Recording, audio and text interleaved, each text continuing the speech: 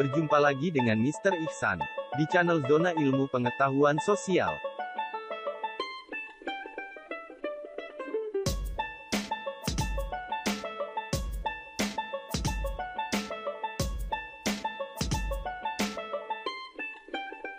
Materi kita kali ini adalah karakteristik benua Eropa, benua yang daratannya terendah di dunia. Ketinggian rata-rata hanya mencapai 300 meter. Eropa sebenarnya bukan merupakan suatu benua tersendiri, melainkan merupakan semenanjung di Asia.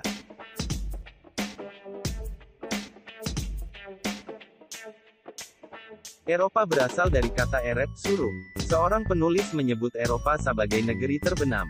Hal itu kebalikan dari Asia yang disebut sebagai negeri terbit. Eropa merupakan benua yang daratannya terendah di dunia. Ketinggian rata-rata hanya mencapai 300 meter.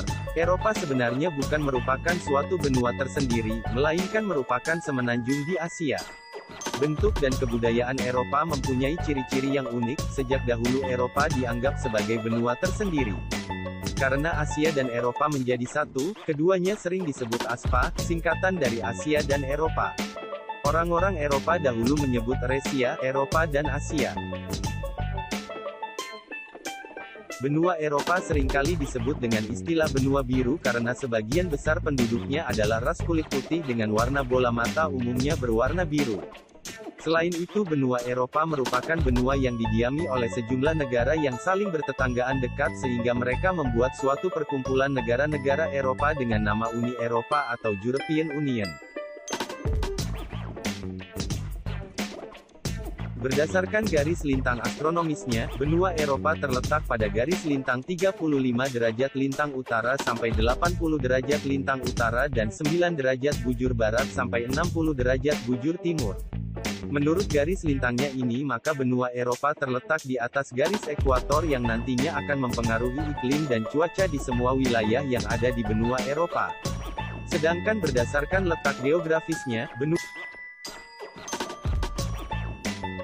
Batas benua Eropa 1. Sebelah utara, benua Eropa berbatasan dengan Laut Norwegia, Laut Barents, dan Laut Arktik.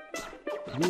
Sebelah timur, benua ini berbatasan dengan pegunungan Ural, Laut Kaspia, Laut Hitam, dan negara Turki, yang merupakan negara yang sebagian wilayahnya masuk ke dalam benua Eropa dan sebagian lagi masuk ke dalam benua Asia. 3. Sebelah selatan, benua Eropa berbatasan dengan Laut Tengah dan Selat Gibraltar. 4. Sebelah barat, benua Eropa berbatasan dengan Samudera Atlantik. Iklim di benua Eropa 1. Iklim maritim dialami di kawasan Atlantik, Irlandia, Inggris, Belgia, Belanda. Karakter musim dingin nyaman, musim panas sejuk, dan curah hujan cukup. 2. Iklim Arktik dan subarktik ini dialami pada wilayah bagian utara, Islandia, Rusia Utara, Swedia Utara, dan pantai utara Norwegia. Musim panasnya pendek dan musim dingin sangat panjang dengan suhu yang sangat rendah. 3. Iklim kontinental, benua dialami oleh Eropa bagian timur dan tengah. Perbedaan suhu musim dingin dan musim panas sangat ekstrim. Sedikitnya curah hujan dipengaruhi oleh angin barat dari Samudra Atlantik. 4. Iklim Mediterania dialami pada wilayah Eropa bagian selatan di sekitar Laut Tengah. 5. Iklim pegunungan dialami pada daerah-daerah pegunungan. Iklim itu dipengaruhi oleh ketinggian. Masyarakat di Eropa merupakan bangsa kulit putih yang dapat dibedakan menjadi beberapa kelompok.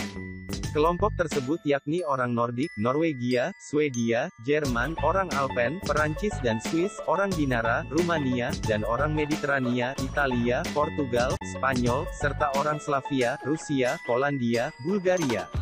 Masyarakat Eropa bagian barat dan utara sebagian besar merupakan pemeluk Kristen, dan sebagian besar penduduk Eropa tengah dan selatan ialah pemeluk Katolik Roma. Sebagian besar lagi masyarakat Turki ialah pemeluk Islam. Mayoritas penduduk wilayah timur dan tenggara merupakan pemeluk Kristen Yunani.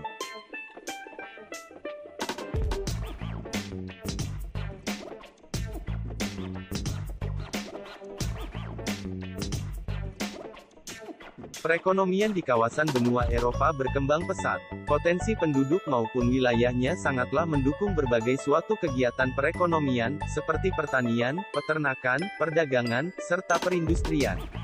Secara keseluruhan negara-negara di kawasan Eropa tumbuh menjadi negara-negara maju, terutama negara-negara di kawasan Eropa Barat, Jerman, Prancis, Belanda, dan lain-lain.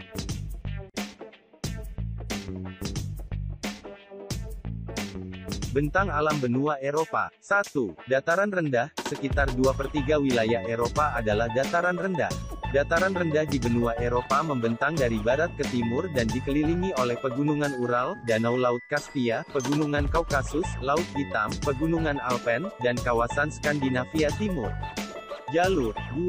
Pegunungan lipatan Jalur pegunungan lipatan terdiri atas sistem pegunungan Sirkumediterania, yaitu Pegunungan Alpen, Pegunungan Ural, Pegunungan Kaukasus. Dataran tinggi di wilayah 3. Semenanjung, di benua Eropa, terdapat empat semenanjung, yaitu Semenanjung Skandinavia di bagian utara Eropa, Semenanjung Siberia, Spanyol dan Portugal, Semenanjung Italia, Apenina, dan Semenanjung Balkan, Yunani. Empat semenanjung itu dikenal sebagai empat semenanjung yang luas. Ciri benua Eropa lainnya. 1. Negara di benua Eropa merupakan negara industri dan masuk negara berkembang.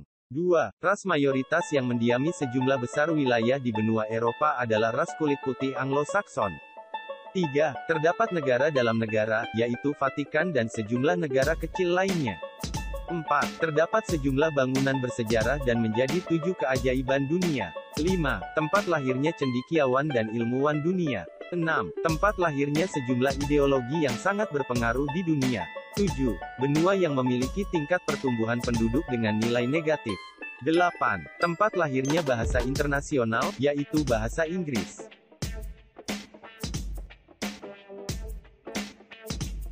Nah itulah beberapa karakteristik benua Eropa. Tetap semangat belajar ya.